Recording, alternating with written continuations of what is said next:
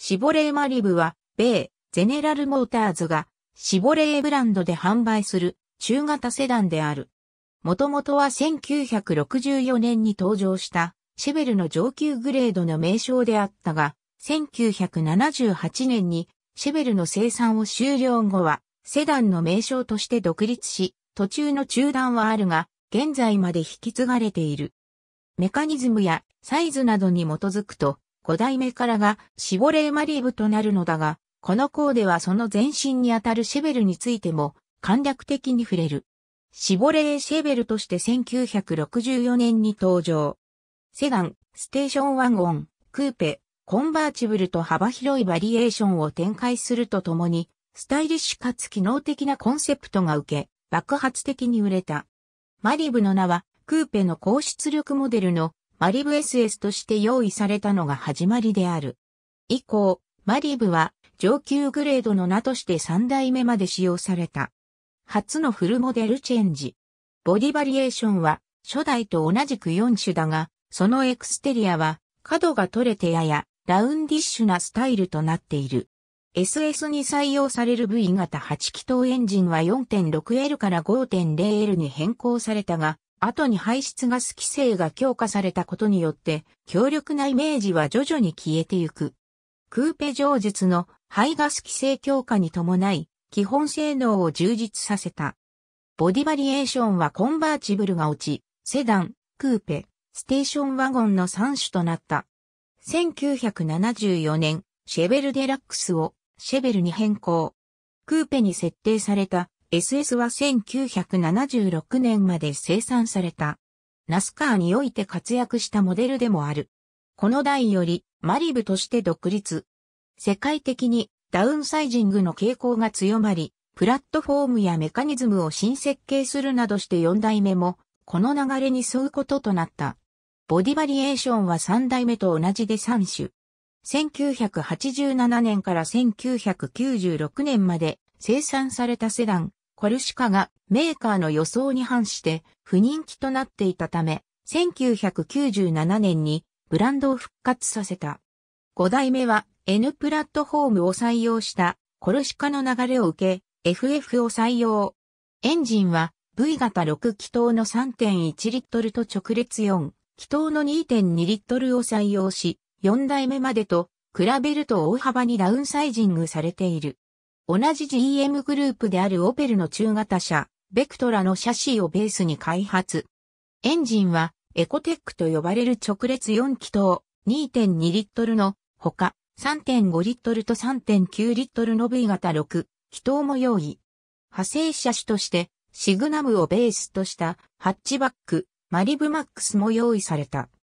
また、この台より高性能モデルの SS も復活している。メカニズムの多くは6代目のキャリーオーバーだが、細部にわたり改良が施された。その結果、2008年の北米カーオブザイヤーを受賞したほか、2010年には GM グループ全体においてもベストセラーの座を獲得している。GM イプシロン2プラットフォームを採用したオペルインシグニアをベースに開発された。新型はさらなるエンジンのダウンサイジングが図られ、直列4気筒の2.0リットルと2.4リットルの2種になり、それらに6速 AT が組み合わされる。衝突安全性についてもユーロンキャップの最高評価であるを獲得している。この台よりアメリカは、もちろん、欧州やアジア等においても発売され、世界戦略者としての使命も任されることとなる。ちなみに、2011年10月に8代目の市販型が、世界で初めて生産開始されたのはアメリカではなく、韓国であった。なお、韓国においては、トスカの後継車種という位置づけであり、税金面で有利な2.0リットルルプギー仕様やディーゼルもラインナップされる。中国市場においては2度のフェイスリフトを経て2017年においても9代目と併売されている。2012年2月28日、GM ウズベキスタンにて生産が開始。ウズベキスタンでは同年7月から販売が開始された。2013年5月31日には米国仕様マリブの2014年モデルが発表された。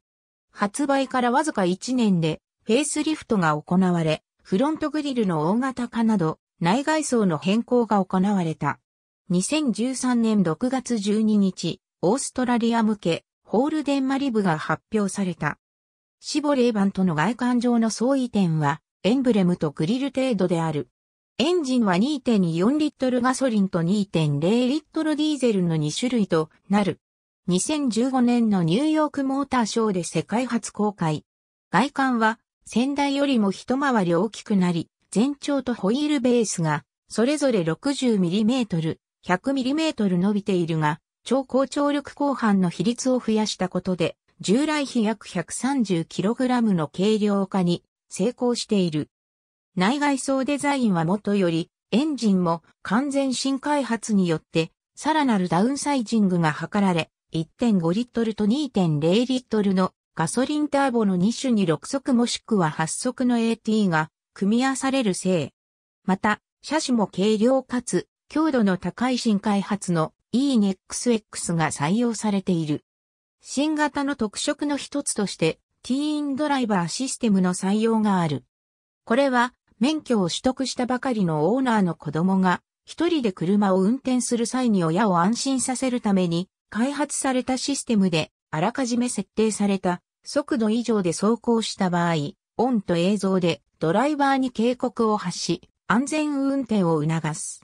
さらに、親に、レポートカードとして、子供が運転した際の走行データを提供。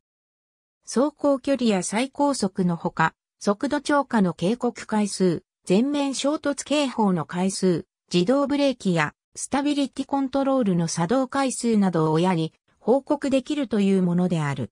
北米市場においては2016年より販売を開始。同年4月にはマリブ史上初となるハイブリッド仕様を追加。1.8リットル直噴エンジンに1.5キロワットアワーのリチウムイオン電池を用いた2個の電気モーターとの組み合わせにより 182HP を発生する一方で燃費はクラス裁量となる約 20km L を叩き出している。韓国においても韓国 GM が同年4月にプレス向けの発表会を行い、近日中の発売開始を示唆。同年6月の富山モーターショーにおいても上日のハイブリッド仕様を発表し、その後市販を開始した。中国市場においては、先代と併売する関係でマリブ XL を名乗る。2019年にマイナーチェンジを実施。ありがとうございます。